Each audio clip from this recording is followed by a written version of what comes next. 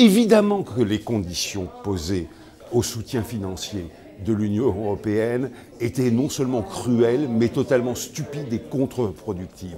Elles étaient monstrueusement cruelles et monstrueusement stupides. Mais il ne faut pas oublier en même temps que l'Union européenne a apporté plus de 300 milliards d'euros à la Grèce a apporté plus de 300 milliards d'euros à la Grèce. Et que sans cet apport, aujourd'hui, la Grèce serait un pays totalement ruiné.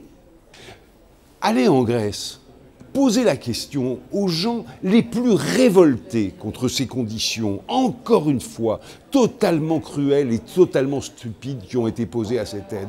Posez-leur la question. Et pourquoi, dans ces conditions, ne voulez-vous pas quitter l'euro et même quitter l'Union européenne?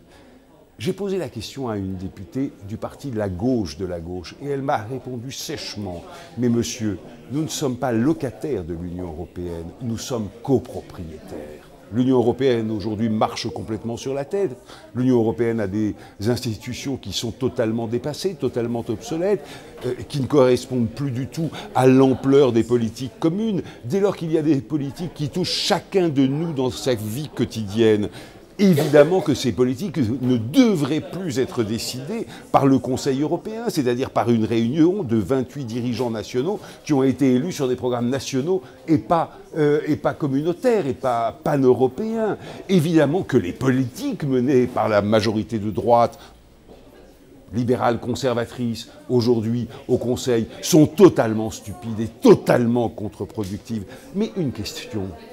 En France ou en Italie, est-ce que c'est parce que la politique d'un gouvernement, d'un moment, est totalement stupide et contre-productive qu'il faut dire ah ben, euh, au revoir l'unité italienne, revenons au royaume de Naples, revenons à ceci, etc. Non, non, on change la majorité. Et c'est ce qu'il faut faire. Quand on a une monnaie commune, c'est-à-dire une carte de crédit commune, c'est ça, une monnaie commune, on ne peut pas faire n'importe quoi. Dans un pays donné, la France ou, l'Italie, si des régions, vous en avez, nous en avons en France, commence à faire n'importe quoi, à s'endetter au-delà du raisonnable et à menacer les finances nationales, que fait le gouvernement national? Il dit écoutez, ah, ça, suffit, parce que de toute manière, s'endetter au-delà du raisonnable, ce n'est jamais raisonnable. Ce n'est jamais raisonnable. Eh bien, dans l'Union européenne, dès lors qu'on a une monnaie unique, eh bien, évidemment que la